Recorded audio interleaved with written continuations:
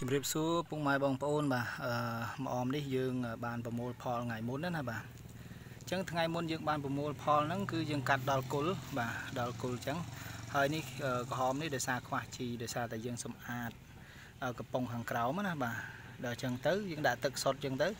គឺវាអត់មានសារធាតុជីជួយចិញ្ចឹមទេក្រោយមកទៀតខ្ញុំបានយកលីមុកមន់ណាបាទមុខមន់មកចាប់មកចាប់យកដាក់ក្នុងទឹកនឹងទាំងអស់ ក្រោយមកទៀតក៏បានវាខៀវនេះឡើងខៀវមកវិញនេះបាទអានេះប្រមុនក៏ហមដូចគ្នាអញ្ចឹង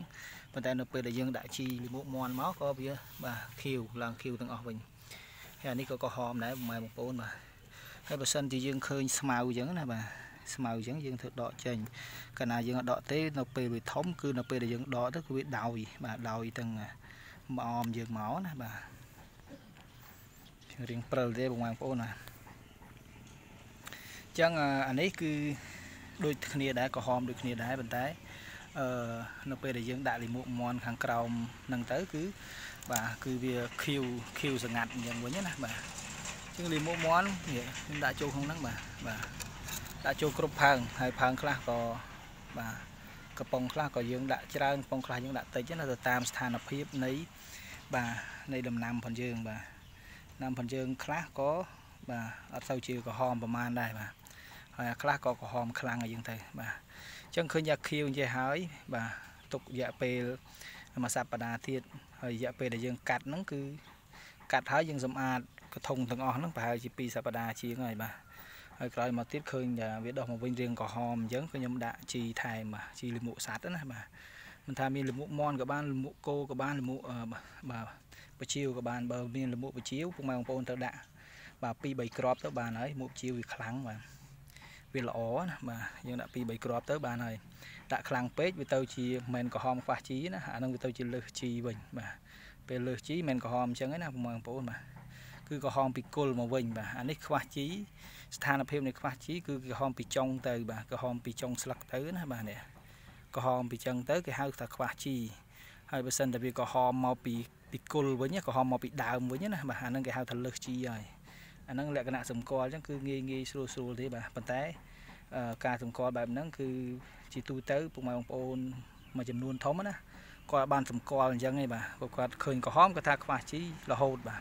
តាមពិតលើសជីវាទៅជាក្រហមឬលលួយតែម្ដងបាទលួយពីគុលទៅតែម្ដង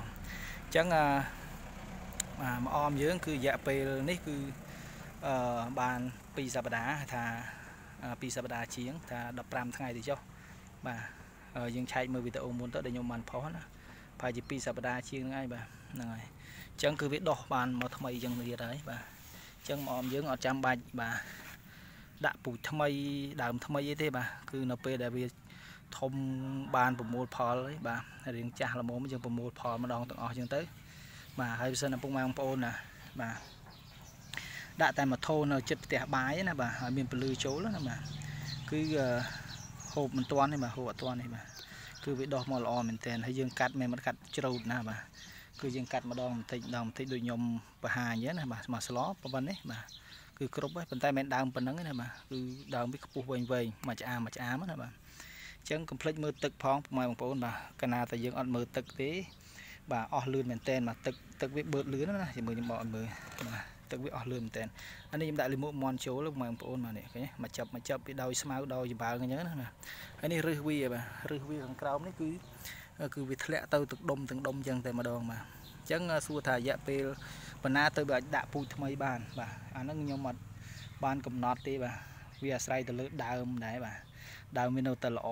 នៅតែប្រមូលផលបានរហូតបាទអមសំខាន់គឺមានទឹកបាទទឹកខាងក្រោមនេះគឺអាសាមើលពុកម៉ែបងប្អូនបាទ គឺអស់លឿនណាហេងសុយដាក់តាកន្លែខែខ្លះខែក្តៅណាបាទខែក្តៅអត់មានភ្លៀងអីចឹងផងដាក់តែមួយថ្ងៃអី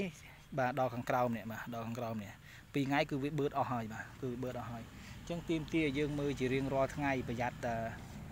អឺវាស្លោកវាសពូនវាស្វិតវាស្វិតទៅយើងដាក់ទឹកតាន់វាឡើងមកវិញណាបាទតែបើសិតទឹកដាក់ទឹកមិនតាន់អាដីខាងលើនេះវាប្រេះកាហាយនេះអាហ្នឹងធ្វើឲ្យអមយើងងាប់តែម្ដងបាទអញ្ចឹងរឹសវាឃីវល្អណាស់បងប្អូនហើយបាទកម្លាំងមែនតើបាទចឹងគាត់ថតពងអាញពងម៉ែបងប្អូនថាតើអមយើងជ្រូតអស់ហើយវាដោះមកវិញវាល្អដូចអាមុនអត់បាទគឺវាល្អដូចតែគ្នានឹងដោយសារតែដើមវាថ្មីបាទហើយបើពុកម៉ែបងប្អូនថាអបើសិនតែក្រហមខ្លាំងយើងអាចរយលាមកមន់បន្តិចបន្តិចពីលើអញ្ចឹងមកបាទរយហើយចាំស្រោចទឹកទៅវាធ្លាក់អស់ហើយអញ្ចឹងវានៅខាងលើខ្លះហើយយើងដាក់ខាងក្រោមខ្លះអាហ្នឹងលឿនបាទ